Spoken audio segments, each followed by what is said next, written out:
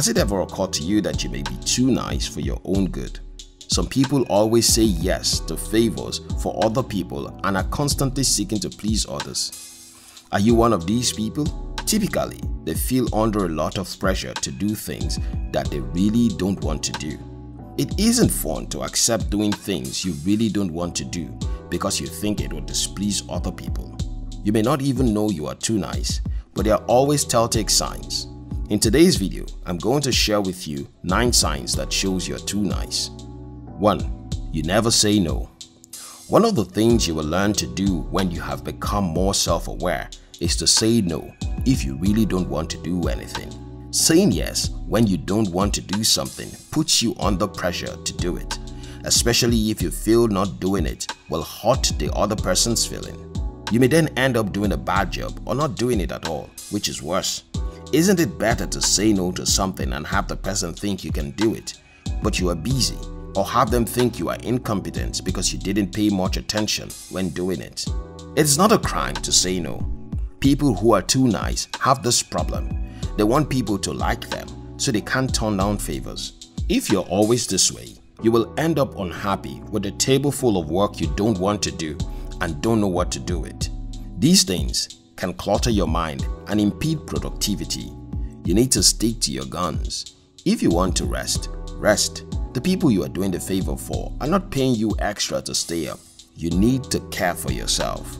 The people asking you for favors may actually genuinely feel you have the time.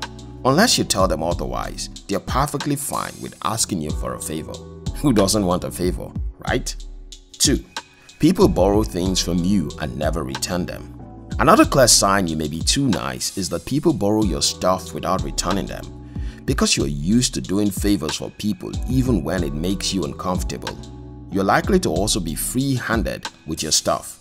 The trouble is, unlike favors that involve actions, your stuff when borrowed ought to be returned. Because you don't know how to approach the person to return it or call out bad borrowing habits in your friends, they may not give much thought to returning your items. People who are not so nice, on the other hand, do not joke with their items. They don't hesitate to call out people who borrow their items and never return them.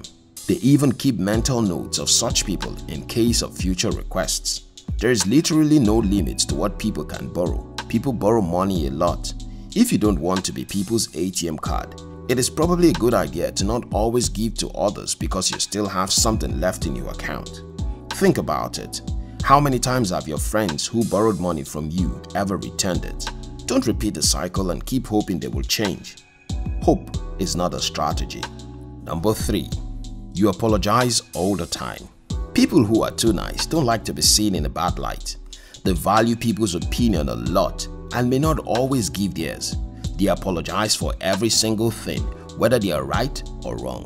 While being apologetic can be seen as humble, it can also be seen as a sign of weakness. You need to learn to stand your ground when you are right. Don't bend over just so others can be happy. People shouldn't be your friend simply because you allow them to have their way. They should respect you and your opinions too. If you have done something wrong, take responsibility, apologize and make amends. If you haven't, don't apologize. Sometimes, people can perceive your apology as just there if you do it too frequently. According to Psychology Today, a full apology requires many more elements than just those two words, such as acceptance of responsibility, an expression of genuine remorse, an offer to make amends, and an excuse-free explanation. When you apologize so much, it may lose its meaning along the way.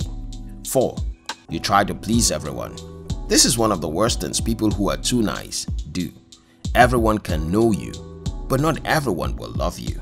You have to let go of the idea that if you tried hard enough, maybe everyone will love you. In reality, they won't. In fact, the more you try, the less likely it is that people will like you. People generally don't like people who try too hard. They feel like they are desperate for attention from others and can sometimes ignore that. People who see original on the other hand, who don't care what others think and do exactly what they have in mind are more likely to be liked and admired by their peers and others. Pleasing everyone is not your job. Even God doesn't set out to please everyone. It requires infinite resources and patience, which you don't have. Be yourself. Let people that are good with you stay that way. You gain nothing from people who pretend to be friends with you but laugh at you behind your back. 5. You're afraid to speak your mind over issues. People who are too nice tend not to voice their opinions. This isn't good enough. You need to be able to say your mind at every point in time. How else will people around you get you? Being nice to people is not bad, but being sheepish will not earn you any social points. If you don't want to be addressed a certain way, speak up. If you don't want to be involved in your friend's fraternity, tell her. If you need to come to terms with the way we communicate as humans, we can't read minds. Anything we are not told stays that way. 6. You avoid conflicts. People who are too nice also don't want to get involved in a fight, but sometimes fights are important. They may decline a scholarship to make their dumb friends feel better. They may also not run for a position because their friends has indicated interest even though they indicated interest first. They feel like if they make enough sacrifice for their friends, it will increase their value. People who act this way are often disappointed. The people you make sacrifices the most for are often the people least likely to help you when you need their help. They take your actions for granted because you do it for them all the time. If you were not always so nice, it might actually change their perception of you and in consequence, their attitude. 7 you are constantly swamped with work.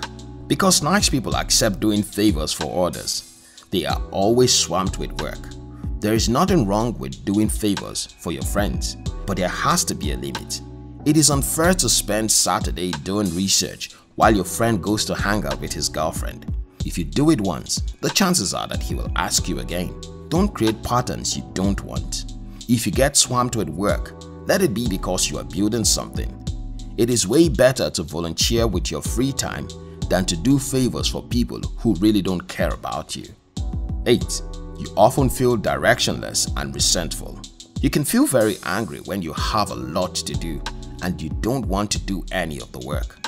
It can make you resent yourself for always accepting and never saying no to people's requests. If you work in a company or non-profit, your boss may take advantage of this because they know you will never reject work you can become their go-to person. While that can help with your promotion and future recommendation, it is also very demanding. 9. People will always meet you when they need something.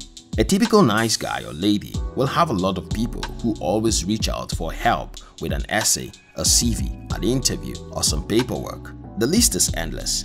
If all your friends are this way with you, you probably need to change circles. It may mean your friends are exploiting you in the relationship. The earlier you identify it and cut them off, the better. People should meet you both when they need something and when they just want to hang out.